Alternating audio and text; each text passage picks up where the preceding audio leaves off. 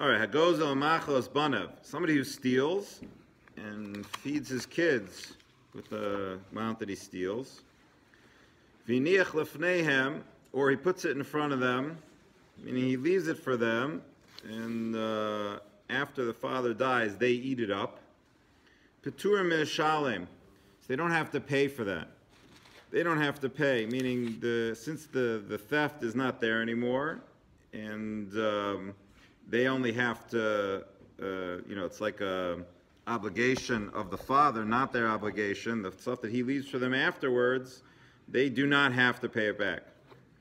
However, vim hayadavar if it was something that had uh, your responsibility on it, property, real property, if they if, if they if he stole land, so then chayav then they have to return that. That never loses the name of the owner on it, and therefore they do have to return the the stolen properties afterwards.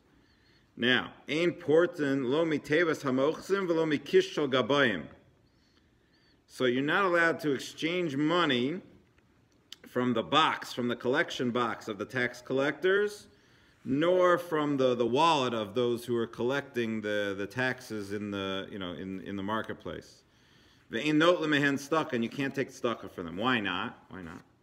Because the tax collectors, right, they're, they're stealing the money from people. They're taking the money that, that they shouldn't be taking. My mother worked for the IRS for 30 years.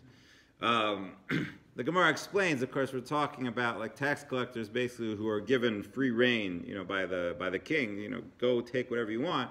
And the assumption was that they were taking much more than they were supposed to be taking according to the rules of the government. They were taking and taking and taking and stealing and putting in their own pockets.